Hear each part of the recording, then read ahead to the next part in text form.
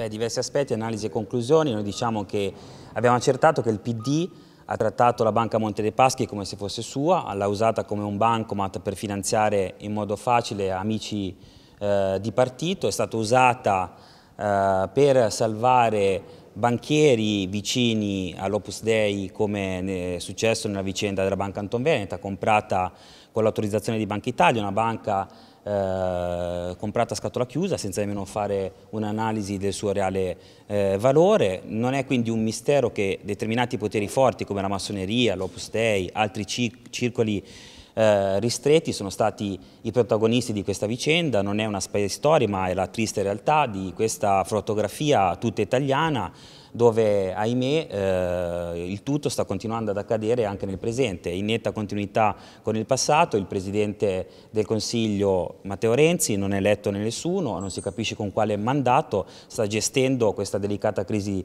eh, della banca, nominando, dando indicazioni per nominare persone a lui gradite, quindi non è, è una balla fuori la politica dalle banche, ma ci sembra proprio dentro la politica nel Partito Democratico. Ricordo a tutti che le persone con le quali Renzi sta gestendo la crisi sono i soliti eh, persone coinvolte nelle cosiddette porte girevoli, parliamo di Grilli, Grilli all'epoca dell'acquisizione Banca Anton Veneta era ministro del governo Monti, era ministro dell'economia e delle finanze, è colui il quale doveva eh, vigilare sulle operazioni della fondazione Monte dei Paschi, così non ha fatto, è colui che prima era dentro il ministero, dentro le istituzioni pubbliche e poi lo troviamo oggi dentro JP Morgan. Lo stesso Mario Draghi autorizzò l'operazione, l'acquisto sulla banca Anton Veneta, questa banca ha pagato molto di più del suo reale valore, mm, il solito Mario Draghi che prima era dentro Goldman Sachs. Noi siamo molto preoccupati di questo groviglio armonioso, di questo intreccio di poteri forti in netta continuità col passato e ahimè il mercato, il mondo richiede al Paese Italia più trasparenza, più competenza, più onestà e una terzietà rispetto ai poteri forti. Ecco, lei consigliere ha attaccato anche sulla nomina del nuovo amministratore delegato con qualcosa che era poco trasparente perché Berlince farebbe parte del consorzio di banche che è pronto a sostenere l'aumento di capitale. Ma eh, certo, ma io intanto diciamo una cosa, noi come Repubblica Italiana siamo soci nella Banca Monte dei Paschi con il 4% attraverso il Ministero.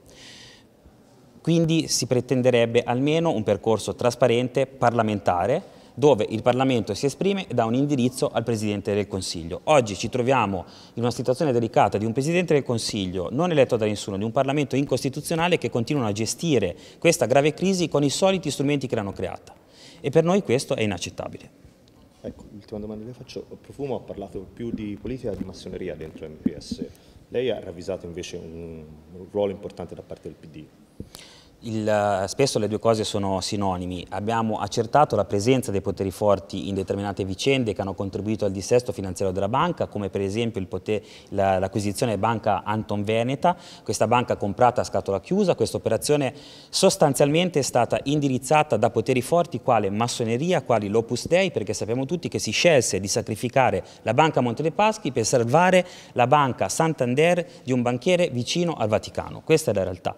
Ci sono questi poteri forti, massoneria Opus Dei, ci sono i poteri clientelari partitocratici di partiti che hanno negli anni preferito gestire gli utili della banca attraverso la fondazione rispetto ad una sana e prudente gestione della fondazione stessa. Il tutto con il beneplacito degli organismi di vigilanza. Banca d'Italia, Consob, Ministero dell'Economia e delle Finanze non hanno svolto il loro lavoro di controllori e a loro imputiamo una grave responsabilità su quanto è accaduto.